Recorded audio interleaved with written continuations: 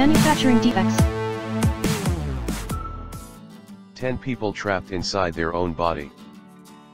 Number 10.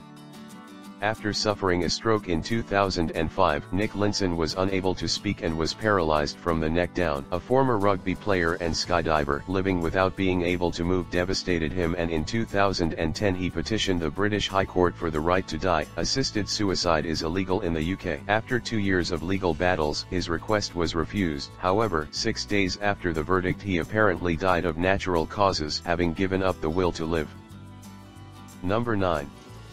Johnny Ray, a Vietnam veteran who was incapacitated by a stroke, is considered to be the first human cyborg. In 1998, with special permission from the FDA, researchers at Emory University implanted tiny glass-encased electrodes in the part of his brain that controlled his left hand. Ray was instructed to think about moving a computer mouse and these impulses were then transferred to a computer. After a few months, he was able to spell words and hold short conversations. This technology is still in its infancy but holds promise not only for others with locked-in syndrome but could lead to the merging of humans and computers for better, or worse.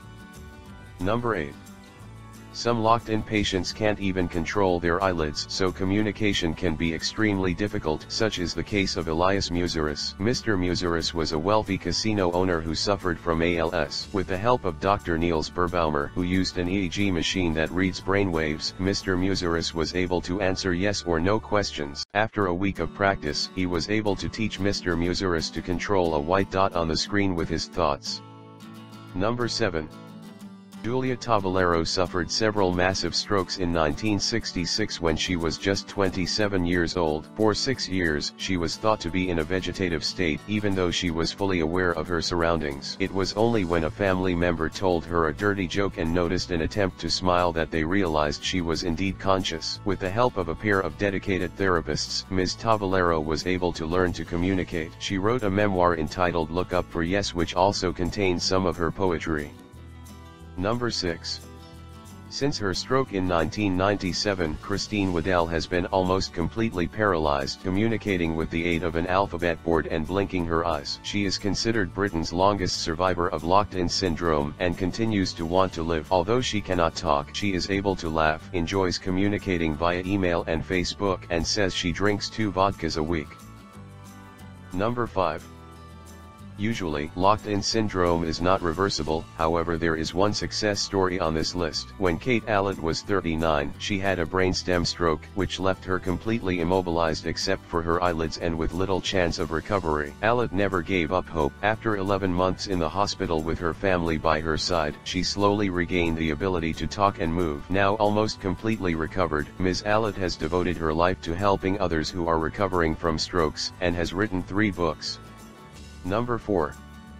Tony Quan, whose nickname is Tempt1, was one of the pioneers of street art credited with developing a distinct Los Angeles style. In 2003 he was diagnosed with ALS, which left him paralyzed except for his eyes. However, with the help of a device called the EyeWriter, Quan is able to still create his art created by a group of friends who call themselves Graffiti Research Labs. EyeWriter is a low-cost open-source device that allows him to draw by selecting tools by staring at them for 4 seconds and then using the movement of his eyes to make the shapes. These images are then uploaded and many have been printed or projected on the sides of buildings. Number 3.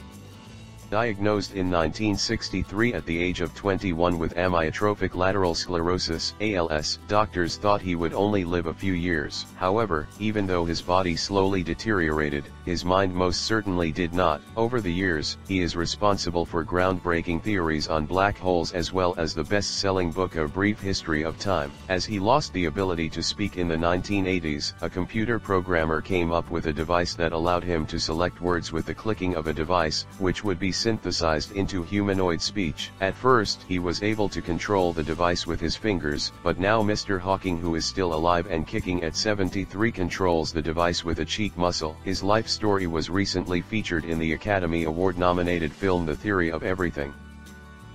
Number 2. Jean-Dominique Bauby was a successful editor of the French fashion magazine Elle when he suffered a stroke at the age of 43. After being in a coma for 20 days, Bauby awoke, sort of, his arms, legs, mouth and one eye were paralyzed and he was unable to breathe or eat without assistance. In spite of these setbacks, Bauby was determined to communicate to the world. With the assistance of an extremely patient nurse, he wrote an entire manuscript one letter at a time. The nurse would point to a letter on a chart and Bauby would blink once for yes and twice for no. The resulting book, called The Diving Bell and the Butterfly was published in 1997. Two days later, Bauby died. The book was later made into a film in 2007. Number 1.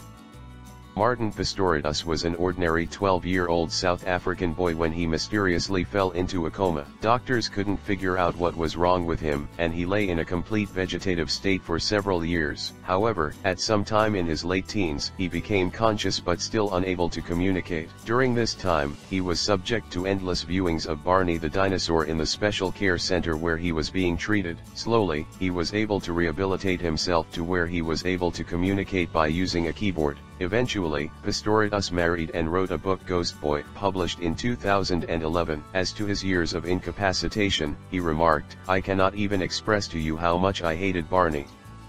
Thanks for watching this video. Do like, comment, share and most important subscribe to our channel. We will be here every Thursday. Till then goodbye.